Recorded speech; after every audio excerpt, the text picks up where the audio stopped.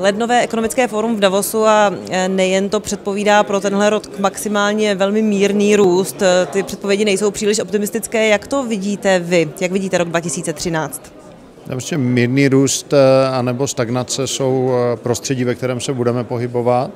A to ovšem neznamená, že neexistují příležitosti, kterých se nebude dát využít jako každý rok. A kdy se ta situace podle vás začne významně zlepšovat? Já si myslím, že není eh, možné v současné chvíli říct, kdy se situace začne zlepšovat a důležitější je přemýšlet o tom, jak v dané situaci pracovat, jak v dané situaci vytvářet zisk, ekonomickou nadhodnotu a, a jak prosperovat. A jde to.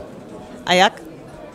Soustředit se na příležitosti, které jsou, technologie, nám umožňují eh, naprosto zásadním způsobem změnit některé eh, zažité věci, dostat se blíž ke spotřebitelům.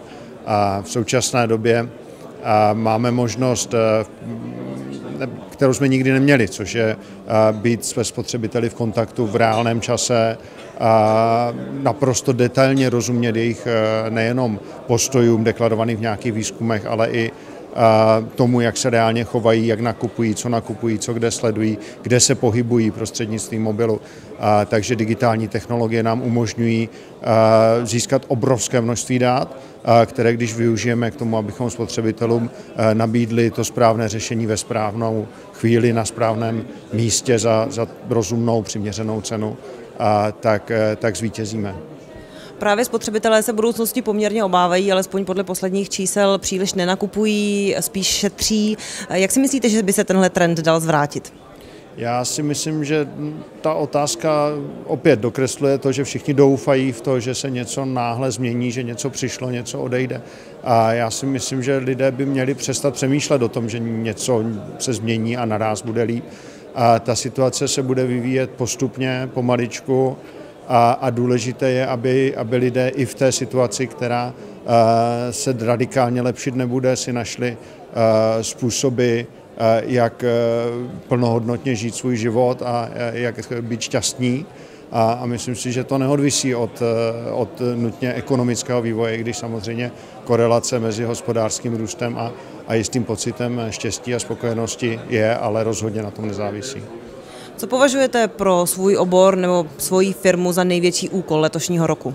Tak já už jsem se trochu dotknul eh, nových technologií a možností, které nám přinášejí zejména v oblasti analýzy eh, dát, behaviorálního marketingu, a, takže je to maximálně využít těch příležitostí, které se skýtají i s masovým nástupem, a, nebo respektive rozvojem mobilních e, technologií a k tomu, abychom se dostali ještě blíže ke spotřebiteli a byli schopni mu nabídnout e, relevantnější řešení v ten správný čas. I poslední otázky už jsme se trochu dotkli, e, ta se týká mobilních technologií, komunikaci se zákazníky. Jakou s tím máte zkušenost? Dokáže to zvrátit právě tu negativní náladu spotřebitelů?